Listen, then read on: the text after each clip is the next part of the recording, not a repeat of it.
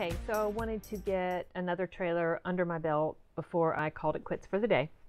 And this next one, it's called In the Tall Grass. So you might think, oh, it's like a, sounds almost like a drama, right? But the thing that caught my eye was that it said it's a horror movie, a Stephen King horror movie. So immediately I'm interested. Got to check this out. Let's go ahead and do it now.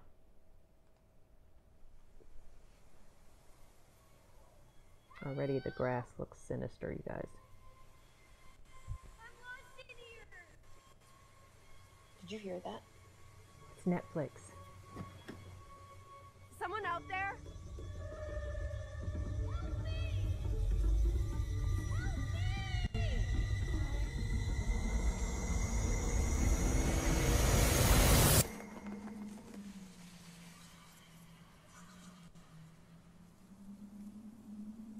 Cal? Becky! Something's not right about this. I think we should head back to the road. Becky! Travis? Who are you? What's going on? I came looking for you! What? How did you get here before us? I don't know. My boy, he's lost in here too. This is nuts! It's only All going to take place in the grass. I'm never gonna find her. You can find things, but it's easier once they're dead. How long have we been here? I'm not sure.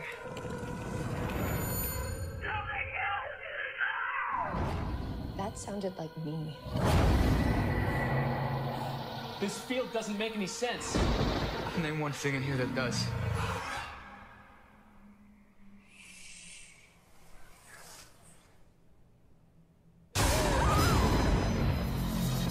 You think this is just chance?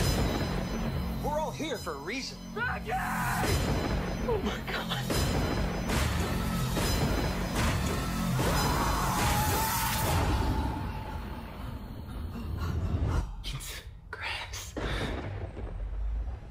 It's just grass. No, it's not.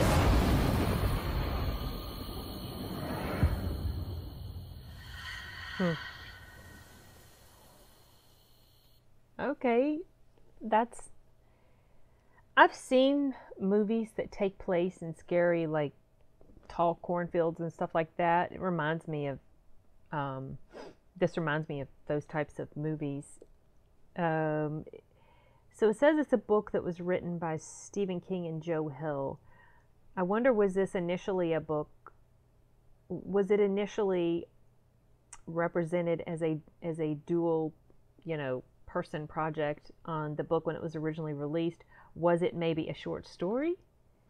I mean, I'm sitting there wondering how in the world can they make a an entire full-length novel from a scenario like this. This really comes across as something like a maybe a short story, but I don't know. I have never heard of this book at all.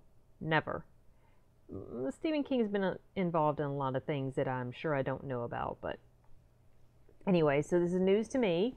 Uh, yes, I will be watching this. When I went into the trailer, at first I was thinking it was going to be. I mean, it it you know, the trailer was well over two minutes long. It clocked in at just under two minutes and 21 seconds here. Um, so I was a little apprehensive that it was going to be a bit too long, but it actually didn't feel like it was that terribly long. It felt like the, the narrative of the trailer flowed pretty well and did not feel like it was giving away too much. Of course, you can't really, I mean, this is so odd that you can't really figure out what it's about based on what you saw and I don't they probably could have showed a bunch could have shown a bunch more scenes and we still wouldn't fully grasp what's up. So um, it, it felt like it was pretty much just right. It didn't feel like it like they overdid it really in in any respect. So anyway, that it looks like fun. I will be watching it. Glad to know it's on Netflix. Let me find out when the release date is, if they even say. They do not say. I really should have probably tried to go find this on Netflix's actual original, I mean, their their actual channel. Going to the the the root of the source might give me more accurate information. But I find them on these other I find things on these, you know, movie trailer channels and it pops up and so I don't always examine where it's from, but um, I'm I'm assuming that this is going to be coming out shortly. It's got a date of 2019, and so I think it's going to be happening sometime soon, maybe in October. You know, horror. So, okay, well that uh, is about it for this one, you guys. I am wrapping it up, calling it quits for the night, and we'll see you guys later. Bye.